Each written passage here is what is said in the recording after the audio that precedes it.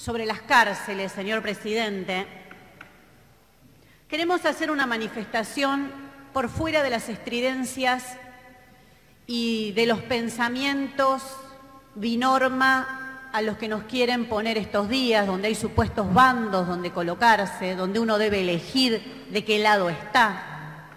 Porque el tema me parece que es bastante más complejo, me parece que se hacen amalgamas ideológicas donde se mezclan genocidas como Capdevila, que costó muchísimo encarcelarlo porque tienen poder, porque tienen secretos importantes. Almagamas ideológicas, como decía, que mezcla genocidas, responsables de crímenes sociales como la masacre de Once, femicidas, con presos que cometieron delitos contra la propiedad. Es una gran amalgama que mete todo en una bolsa e impide pensar solo permite colocarse en bandos de los buenos y los malos y uno tiene que elegir en qué bando está. Entonces, algunas cifras desmienten estas cosas, porque incluso mirando los penales federales, que fue la última gran crisis con el penal de Devoto, uno ve que los presos que ocupan las cárceles federales son un 40% aproximadamente por violación a la legislación que tiene que ver con las drogas que incluye muy pocos narcotraficantes y muchos por narcomenudeo. Pero sin entrar en esa diferenciación, incluso un 40% tiene que ver con esto. Casi un 40%, un 39% más o menos, están allí por violar eh, delitos relacionados con el derecho de la propiedad.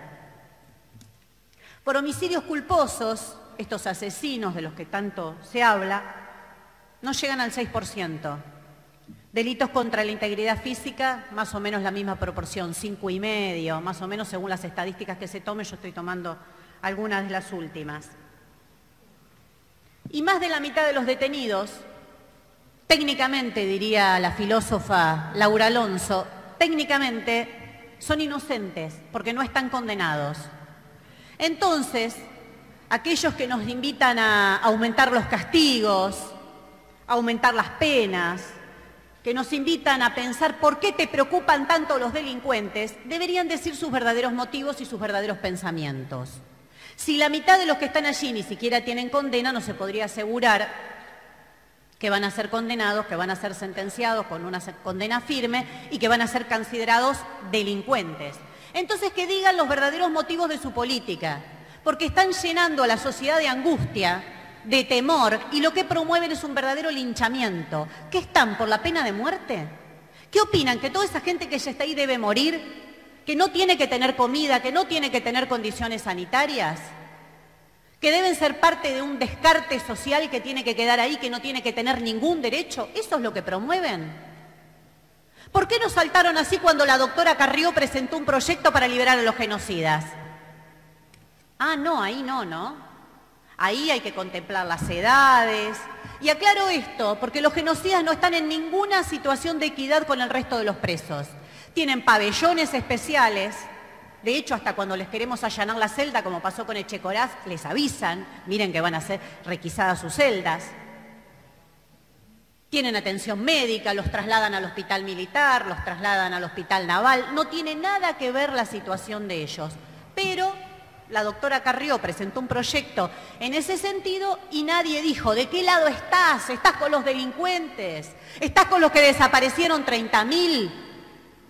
¿Estás con los que violaron detenidas? ¿Están con los que torturaron? Ahí no aparece ninguna teoría de bandos. Supuestamente rige el humanitarismo. Claro que esta situación de pandemia agrava algo que ya existía, que es el hacinamiento, que es la falta de comida, porque cada preso aproximadamente implica para el Estado un gasto de unos 60 mil pesos, pero si los familiares no le llevan comida, en muchos de los casos, no comen. Qué buen momento también para hablar del sistema de corrupción que rige en los servicios penitenciarios, ¿no? Un gran momento también para verlo. Y hasta derechistas amigos de muchos de los aquí presentes, como Piñera, como Macron, han liberado detenidos. ¿Por qué lo hacen? ¿Porque les empezó a importar la gente que puebla las cárceles o porque de verdad hay una situación sanitaria que atender que puede explotar en las cárceles, como en los geriátricos, como en tantos otros lugares de aglomeración de personas, y que eso va a trasladarse indefectiblemente también a la sociedad. Entonces hay un problema sanitario que atender. No se puede seguir haciendo discursos tan, tan hipócritas. Digan lo que piensan. Si piensan que las cárceles tienen que ser para el castigo, digan que está equivocada incluso la Constitución Nacional, no lo que piensa la izquierda, lo que dice la Constitución Nacional y que las cárceles tienen que ser para castigo y reclusión permanente, que hay que castigar a personas y no hechos. Tal persona cometió un delito, se le pone un sello de delincuente y queda dentro de por vida. Díganlo. Eh, eso creo que es una parte de la verdad. También debo decir, señor presidente, que veo una gran corresponsabilidad entre los que hoy forman parte del elenco gobernante a nivel nacional. ¿Y por qué digo esto con tanta seguridad? ¿Por qué hablo de corresponsabilidad? Porque los jueces no son responsables. Nadie puede pensar que yo voy a defender a la casta judicial. Sí son responsables. Pero hay dos grandes motivos, obvio que hay muchos, pero si tengo que resumir en dos motivos que llevaron a la crisis de las cárceles actuales en la Argentina, hay dos. Dos grandes, enormes.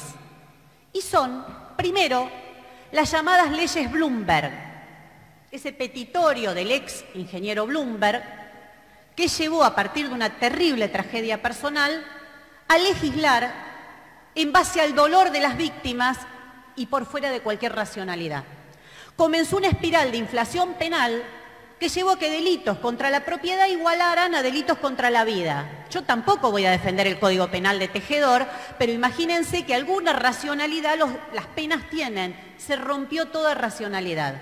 Por eso, cuando vemos las cifras de quienes ocupan las cárceles, la mayor cantidad está por delitos como los que mencioné, por ejemplo, delitos contra el derecho a la propiedad. De todo tipo, desde graves hasta menores.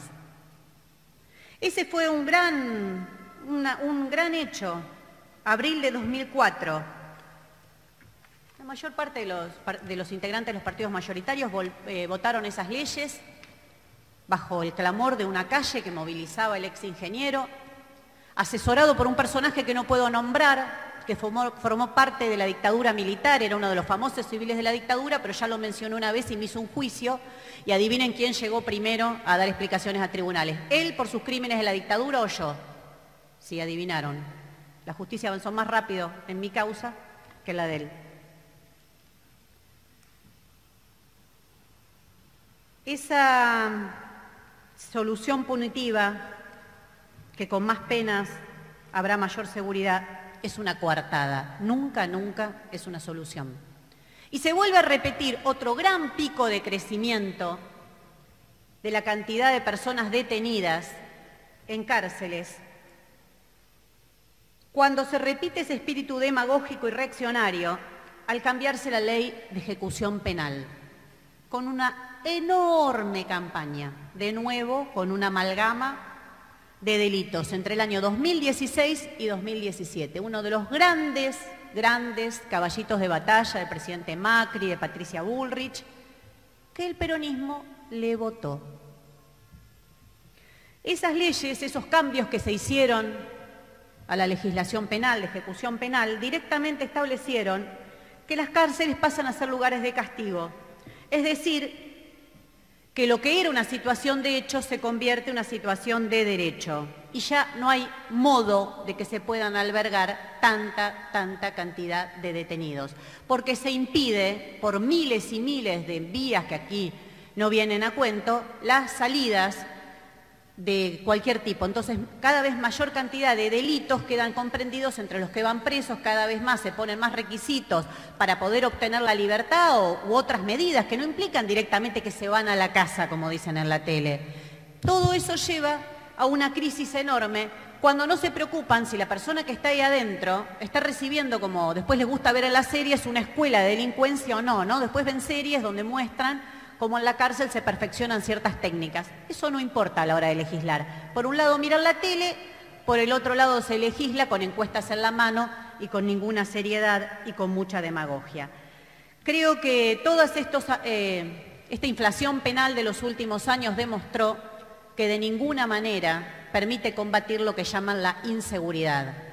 Entonces, es hora de que hagamos un debate serio. No sé qué tiene que hacer esta legislatura votando sobre las cárceles eh, en esta instancia, pero quería aprovechar esta oportunidad para decir que es un gran momento de dejar de hacer demagogia y para que digan realmente lo que piensan, que no los encubran en una supuesta defensa de las víctimas, porque la verdad es que cuando hay marchas por las víctimas, los que marchamos siempre somos los mismos. Muchas gracias, señor presidente.